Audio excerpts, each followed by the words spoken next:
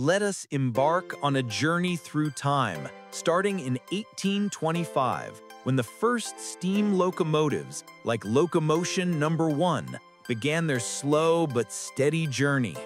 These were noisy and clumsy machines of black metal and wood, breathing steam and fire that forever changed the world.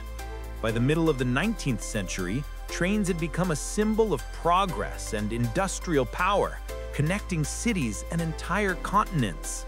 Steam giants grew ever more powerful and luxurious, with gleaming brass and elegant passenger carriages. In the early 20th century, the golden era of speed and style arrived.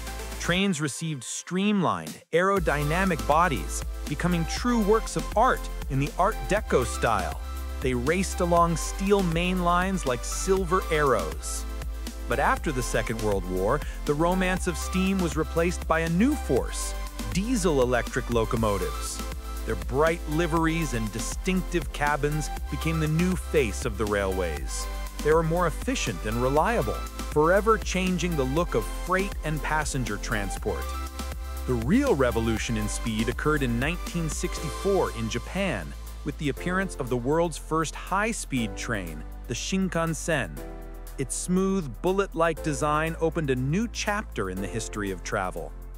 Europe then took up the baton with the French TGV and the German ICE.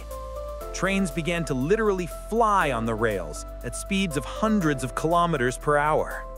Today, we see trains that seem like guests from the future. In 2025, we are talking about magnetic levitation trains or maglevs, which float above the tracks with almost no friction or noise. Modern trains are becoming smarter, more environmentally friendly, and more comfortable.